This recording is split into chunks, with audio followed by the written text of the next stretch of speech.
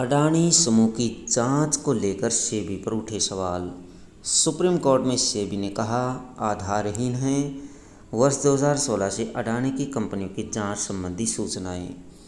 अडानी समूह में वित्तीय अनियमितताओं की लेकर बाज़ार में नियामक सेबी ही अब फंसती नज़र आ रही है।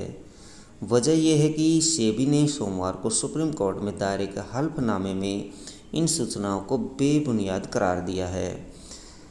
वह वर्ष 2016 से ही अडानी समूह की कंपनियों में वित्तीय अनियमितताओं की जाँच कर रही है। सेबी के इस हल्फनामे पर कांग्रेस पार्टी ने सवाल उठाया और कहा कि वित्त मंत्रालय ने ही जुलाई 2021 में लोकसभा को बताया था कि सेबी नियमों के उल्लंघन के मामले में अडानी समूह की कुछ कंपनियों के खिलाफ जाँच कर रही है।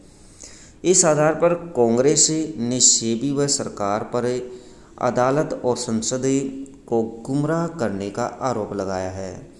कांग्रेस ने इस बयान के बाद वित्त मंत्रालय से कहा कि जुलाई 2021 के अपने बयान पर कायम है।